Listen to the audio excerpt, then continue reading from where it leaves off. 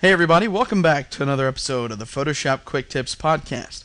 My name is Justin Seeley, I'll be your host, and in this week's episode, we're going to be taking a look at how to very quickly and very easily create a cross processed look on our photographs using the Curves dialog box in Photoshop. Now, this was a very interesting thing. Somebody emailed me recently wanting to know how they could create sort of this cross process look. And I went in and I was working with hue and saturation layers and different levels adjustments and things like that. And then I happened to stumble upon this Curves Dialog preset button that I didn't really know was even in there. But if you click down here in your adjustment layer icon and go to Curves, you can't see it, it's off your screen. But if you open up that dialog box here, and I'll move it back into the screen up here in the top, there's this little window, little drop down window, that says presets. And if you click on that and pull down, right there is cross process RGB. And when I do that and move it out of the way, there is an instant cross process look right there on that photograph. And if I click OK, I've committed to that.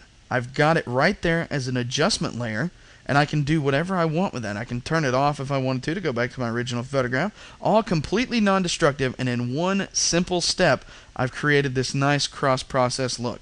Now if you wanted to go ahead a little bit further because a lot of these cross-process photos they'll have a little bit of an edge vignette or something like that you could certainly do so and a quick way to do that would be to convert this to a smart object. Just right click on the original layer, choose convert to smart object, then come up here to the filter menu, choose distort and then we'll choose lens correction.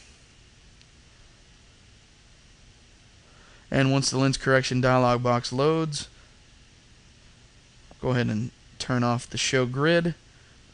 We'll take this vignette amount which is just right here and we'll just drag that to the left. Zoom back out. Click OK. And there we have a nice cross process look with a simple vignette. Now, if that vignette's a little too harsh, because it might seem that way, especially after adding that cross-process look, go ahead then and you can double-click on the blending options for that, and you can just tone the opacity back to maybe 75%, like that. Click OK, and there you go. So if I show you here, here's a quick before and after of our photograph and that was just two very simple steps to create this really neat cross-process look.